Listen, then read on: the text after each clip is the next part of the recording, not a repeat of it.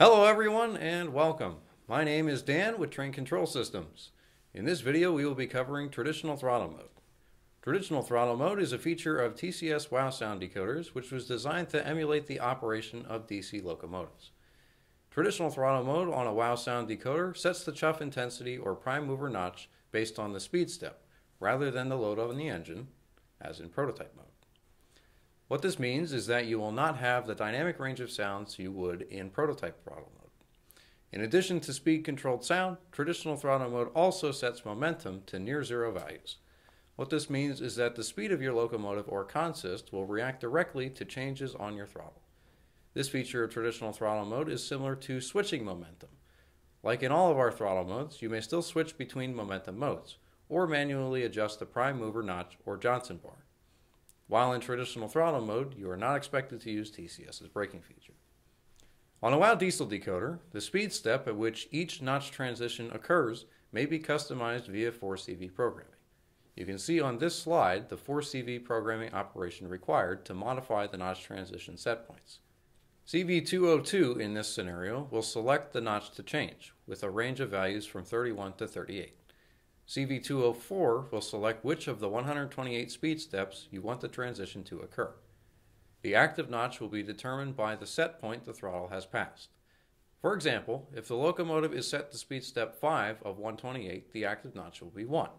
But if the locomotive is changed to speed step 6, the prime mover will step up to notch 2. Traditional throttle mode is commonly used for consisted locomotives, where the locomotives will be notched together. Additionally, you do not need to worry about difference in momentum. You may need to speed match your locomotives, which can be done using audio assist, however.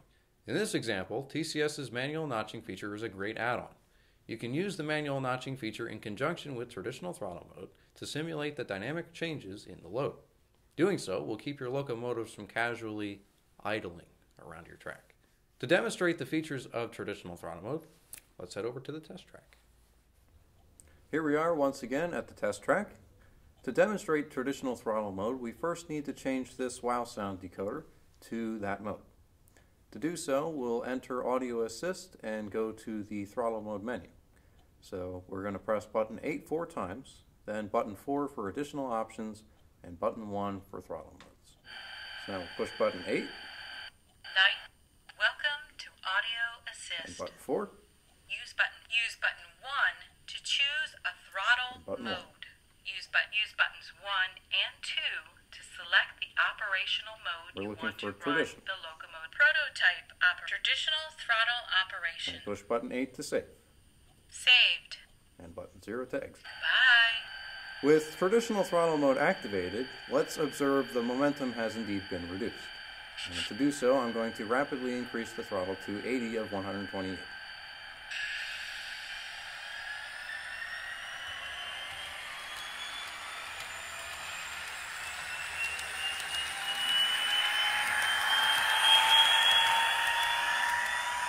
As you can see, the engine took no time to reach that speed. And now if I zero the throttle, stops on a dime. If you are a kind of modeler who prefers uh, DC style operation, then this is going to be the kind of mode you want to use. To demonstrate the notching feature, we're going to slowly step up the speed so you can hear each notch transition step. Right now, this engine is at the default settings for notch transitions, so they will occur as follows. Notch 1 becomes active at speed step 1, Notch 2 at speed step 6, Notch 3 at speed step 13, Notch 4 at speed step 20, Notch 5 at speed step 27, Notch 6 at speed step 34, Notch 7 at speed step 41, and Notch 8 at speed step 48. As mentioned before, the notch does not become active until the set speed has been reached. Let's demonstrate that now. If I go up to speed step 1, you may have heard that the prime mover notched into notch 1. With certain prime movers, this is easier to hear, um, but you may have heard where it kind of stepped down, and now we're in notch 1.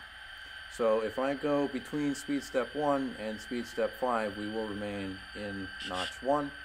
But once I switch up here to notch, or speed step 6, you heard that the prime mover notched back up. So now we'll go up to speed step 13. All right, heard it notch up there. And now speed step 20. And it notched up again. Conversely, once the speed drops below the set point of the notch transition, the active notch will decrease. So let's drop down a speed step here. And as you heard there, we have indeed notched back down. And that, of course, applies to all the rest of the speed steps and notch transitions. If you want to change the notch transition speed steps, you do need to do so via 4CV programming using the CVs shown earlier.